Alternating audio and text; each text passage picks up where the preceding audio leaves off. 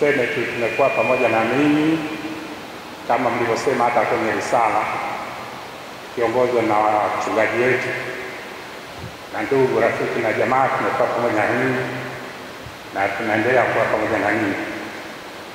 Sisi tuna utaratibu kama jumuiya ya kutoa rambirambi zetu. Tutakamilisha utaratibu baada ya nyinyi kurudi kutoka kumpumzisha Egbert kwenye nyumba ya milele.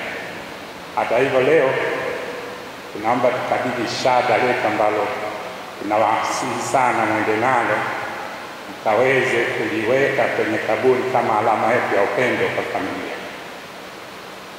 Kwa ningeomba mmoja wa familia aichukueni shada kuongoza masuala yote ya pesa kwa kipindi hicho kigumu, kwa michuano migumu ya klabu bingwa Afrika.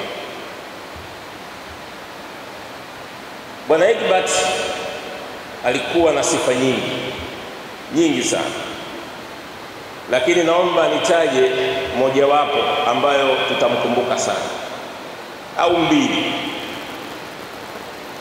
Ya kwanza, Bwana Egbert Mhada alikuwa ni mtu wa misimamo sana.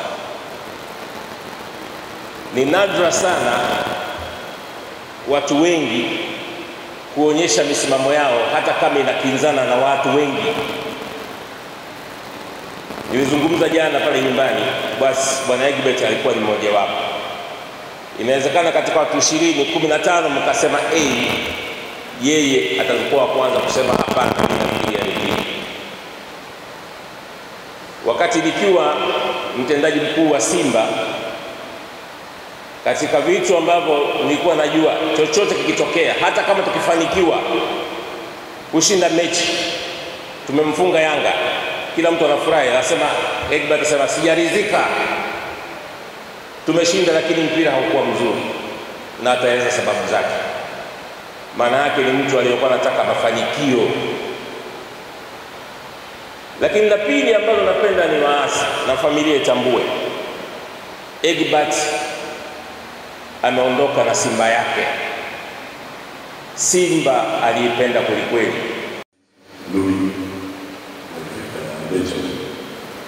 Bwana Yesu asifiwe. Ah, Nitazungumza kwa nafasi mbili.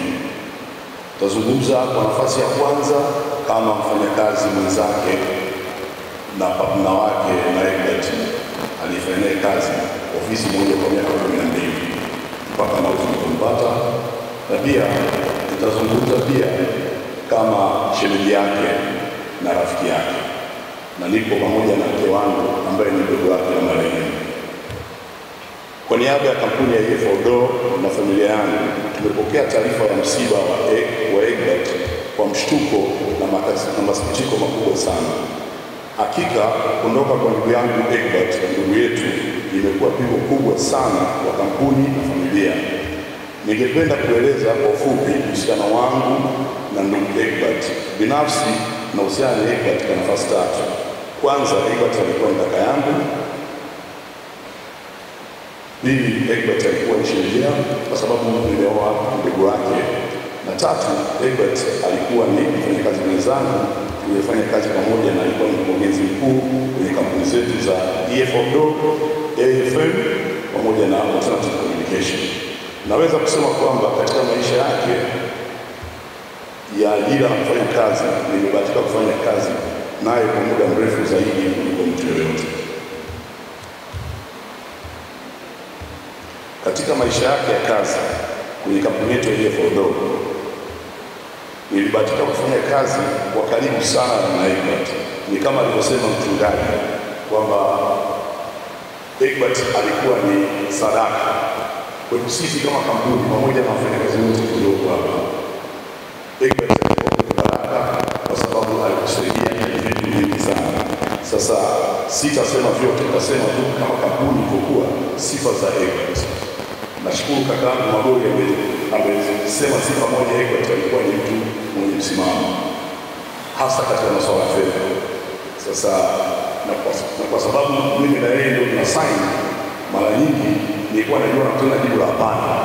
Chochote nikienda kumwambia Egbert najua hapana, hata kabla sijamweza chochote ameshaanza na hapana machoni.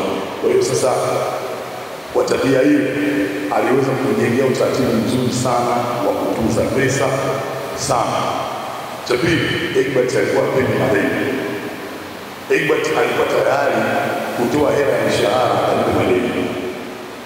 Nakumbuka siku moja kuna mtu alikusupply alikusupply mzigo mkubwa kwa pesa nyingi, tukawa tumemlipa zaidi ya asilimia tisini, ikabaki asilimia kumi. Alipokuja kuomba, naomba msamehe kidogo, mchukuzi mkuu, miaka kumi na mbili ofisini na mtu kidogo mbili. Alipokuja kudai, Egbert akamkali akaenda barua ya mwanasheria. Mimi nilikuwa sipo, nikakuta Egbert ametulia huyu jamaa amekuja na wakili, wana barua ya notes, wanataka 10% iliyobakia. Sasa nikasema hivyo, tutaongea na simu, anaitafuta hela kutoka kwa mtu mwingine. Sasa akasema "Ah, nimeshapata utarudisha pesa hivi na hivi. Sasa nikamuuliza unaongea na nani? Akasema kwa sababu nimeshona barua pale. Akamwambia naongea na mzee. Nikamwambia hela ninayo, nimeshaileta. Akaniambia unayo? Ndio. Nikamwambia mpigie mwambie tena nimeshapata tunashukuru. Akasema tunashukuru sana. Baada kusema tunashukuru sana, mimi nikaenda ofisini, kaenda tuende ofisini. Natoka kwa hiyo tuende ofisini kwa. Nilipofika nikamwambia kwamba sina hata suni na hatuwezi kulipa, njia uliochukua ni nzuri, nenda mahakamani. Egbert akakasirika sana, lakini nikamwambia Egbert, tumefanya biashara, huyu kapata faida na sisi tunapata faida, kwa hiyo hawezi kudai kwa kufutisha. Lakini Egbert alizunguka kama sio akapata hela akamlipa. Sasa hiyo inaweza kuwa moja ya sifa ya Egbert aliyokuwa nayo, alikuwa hawezi kulala kama malaika. Egbert najua hata kama haupo lakini unacheka. Egbert akiniona lazima acheke.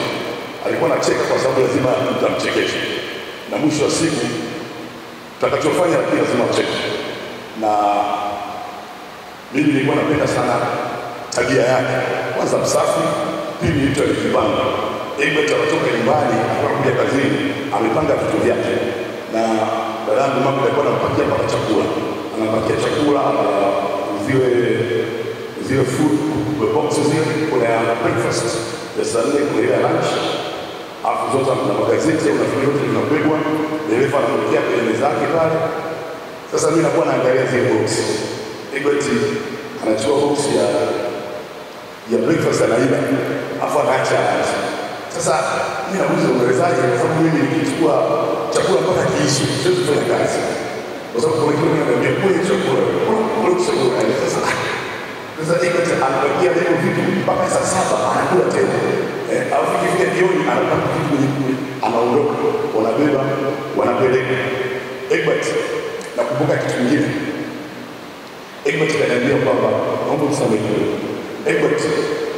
Ame ameniambia kwamba tarehe tatu ananiambia wageni kutoka Nairobi tarehe kumi na saba angeomba nifanyie arrangement pale Seven kwa Kalinyama kwa sababu mmelipa Triple Seven nafiana nadhani za karibu.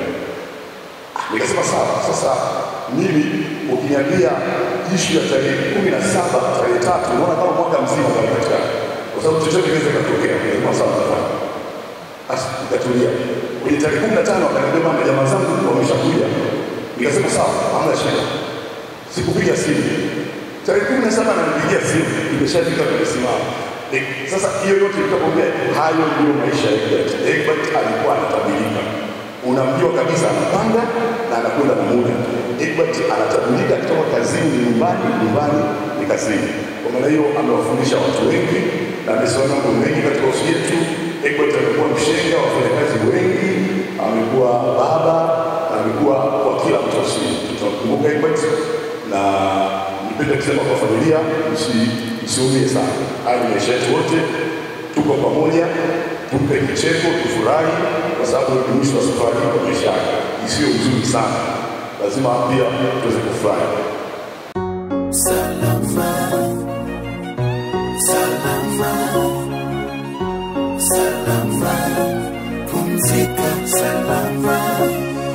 Kweli na ni kweli na choma tutazoea.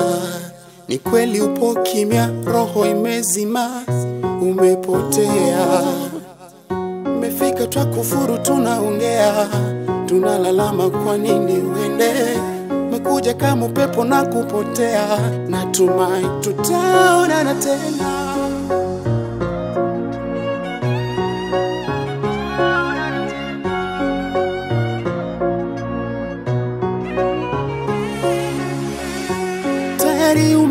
umemaliza kazi tayari umevalishwa taji kwa heli tunatokwa machozi uende salama yeah. Tutaonana tena. bahati mbaya Tutaonana tena. Hey, FM watatu Tutaonana tena. Tutaonana tena.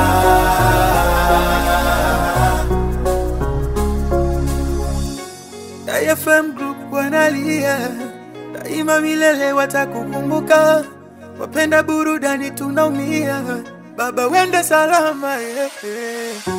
Tayari umemaliza kazi, tayari umevalishwa taji, kwa heli tunatokwa machozi, wende salama yeah. Tutaonana tena.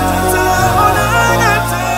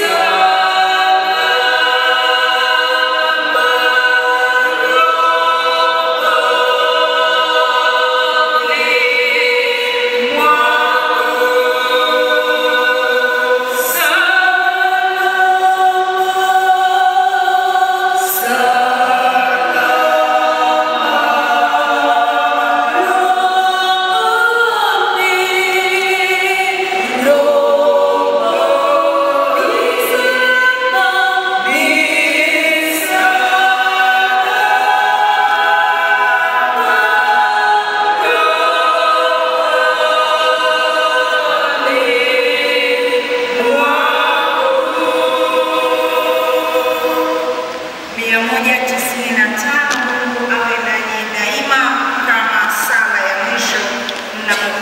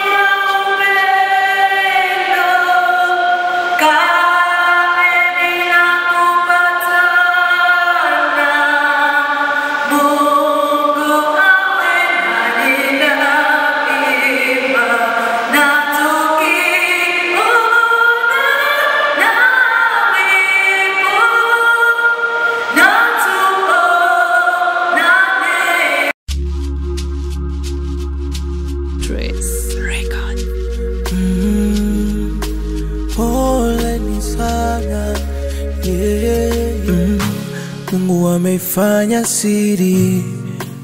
Siri kubwa sana ya kifo.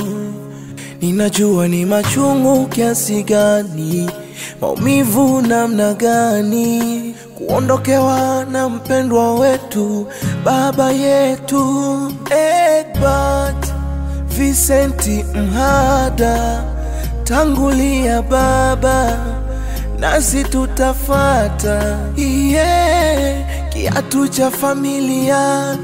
Siwezi mikukivaa, kiatu cha marafiki. Mwenzenu kinanibana. AFM wanalia. Oh, oh, wanalia. Na wasanii tumeumia. Oh, tumeumia, ila kazi ya Mungu hainaga makosa, japo ni uchungu sikukukosa. Baba, baba Ekba. Nenda pumzika salama. Ekbat, siku tutaonana. Oh, nenda pumzika salama baba Ekbat, siku tutaonana.